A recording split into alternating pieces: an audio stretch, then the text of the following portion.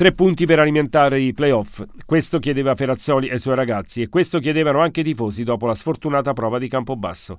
E i tre punti sono puntualmente arrivati. Forse non sarà stata la migliore prestazione interna della stagione, ma pensiamo che sia inutile andare a cercare il pelo nell'uovo, soprattutto guardando anche gli altri risultati di questa ventisettesima giornata. Temperatura mite e ritmo abbastanza blando, sia da una parte che dall'altra. Rientra Ferrani nelle file biancoverdi, con Filippini che si sposta esterno. Ritmo blando, dicevamo, e per un quarto d'ora non accade praticamente nulla.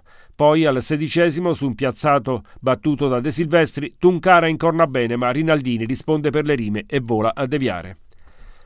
Altri tre minuti e l'occasione stavolta è per il Matese. Galesio avanza e tira, ma Brusca non è da meno del collega avversario.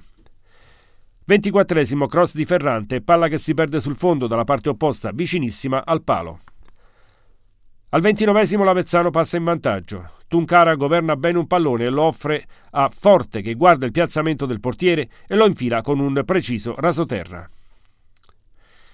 Poi sono gli ospiti a mettere la testa fuori dal guscio con Ricciardi che ruba palla sulla tre quarti e conclude, obbligando Brusca in calcio d'angolo.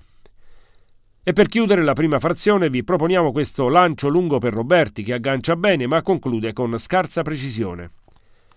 E poi la ripresa, tre minuti e c'è uno spunto di De Silvestri sulla destra, dribbling e tiro che viene deviato in calcio d'angolo.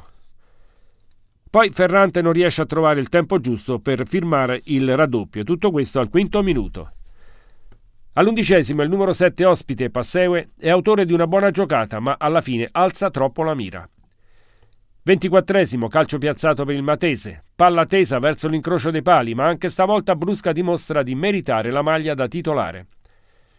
27 palla gol per l'Angellotti che tira a colpo sicuro, ma Brusca se la cava anche stavolta.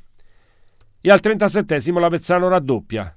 Verna, in campo da poco, imposta su Tuncara che stoppa alla perfezione e osserva i movimenti in area avversaria.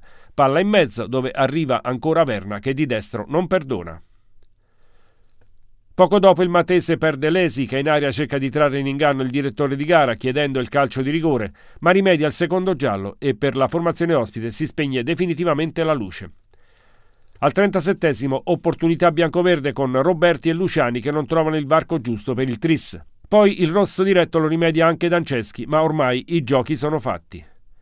Anzi, in pieno recupero Roberti riceve, stoppa e tira, ma Rinaldini gli nega anche stavolta la gioia del gol.